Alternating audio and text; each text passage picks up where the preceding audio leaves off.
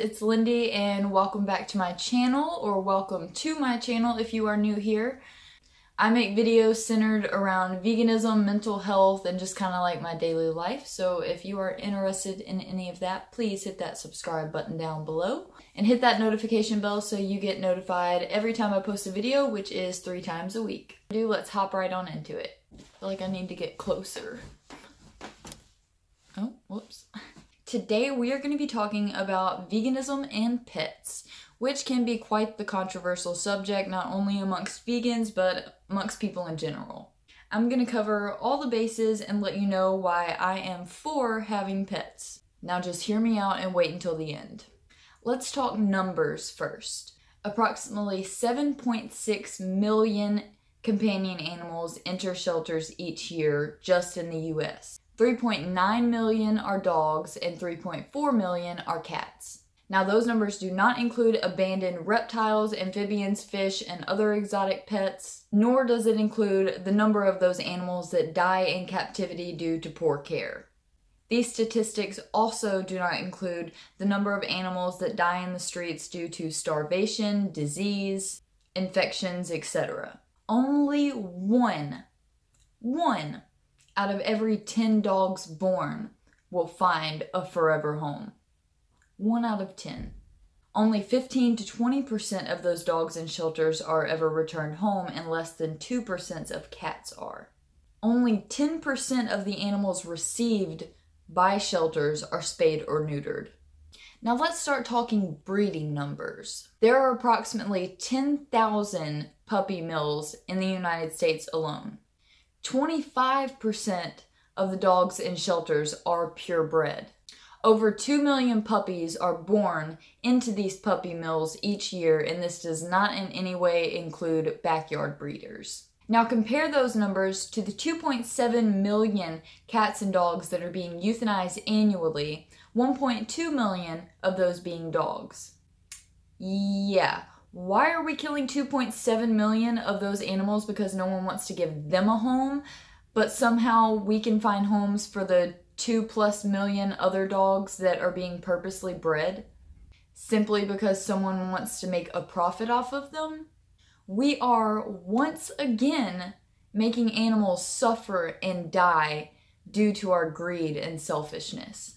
And that is not only extremely sad, but also really pathetic. Now, let me just add to this by saying that I do think the process of keeping pets is unnatural, and I do believe that it is something that we shouldn't do.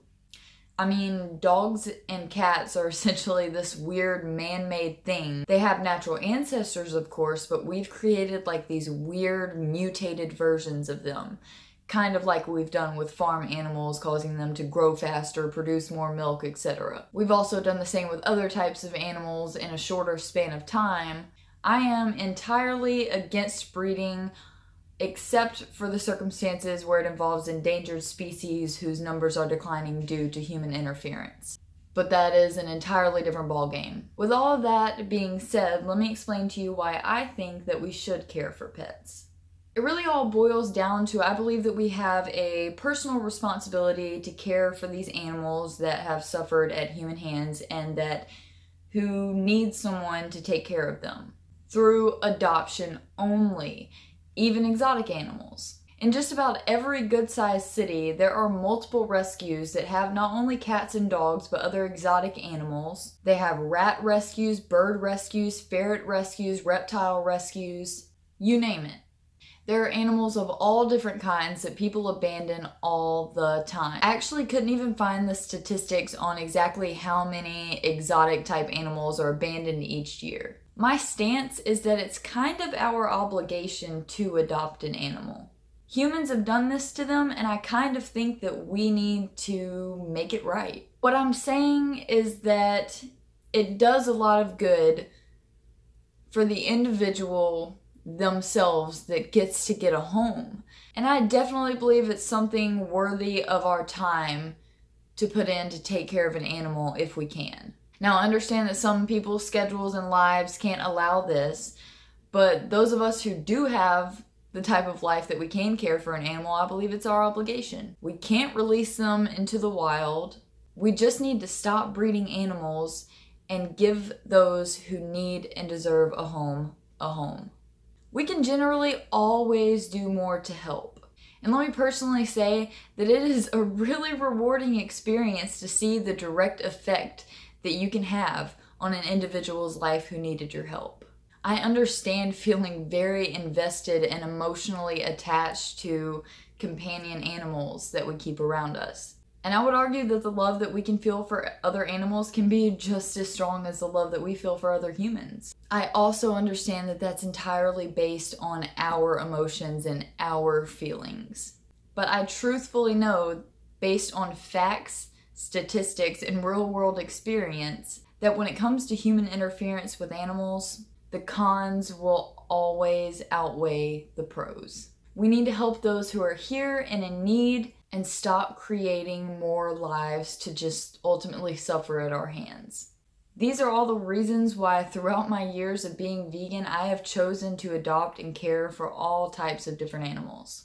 And I seriously love every minute of it. I do love animals, but like I said, I understand that they are better off without us interfering with them. Because of our preferences to keep animals around, we have ultimately made so many suffer and die because of that and it's completely unnecessary. We don't need to have pets. We don't need to have pets in order to be happy. What we need to do is to stop fucking with them, pretty much is what I'm trying to say.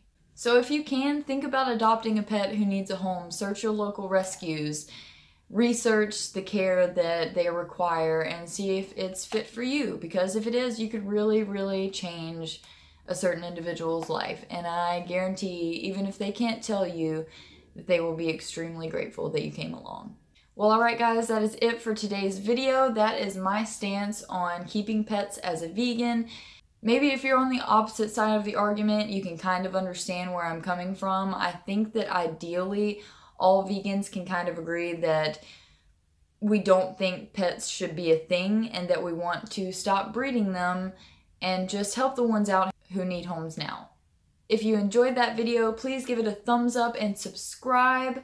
I would really appreciate it. I make new videos three times a week. Follow me on Instagram and add me on Snapchat. Links will be in the description.